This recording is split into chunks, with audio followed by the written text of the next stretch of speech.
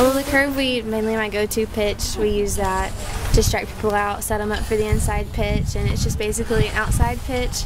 And we normally just stair step it. Um, we just keep stair stepping it like oh, we have 0 spots, one two spots, 0 2 spots, and we just keep getting them farther and farther off, and we bust them in to get them either freeze or get them swinging. The screw the screw, we normally just jam them up with their hands or keep it really low because it's really easy for a batter to turn on that screwball. So we really just try to jam them up as hard as we can and just get them to foul it off or to get them swinging at their ankles.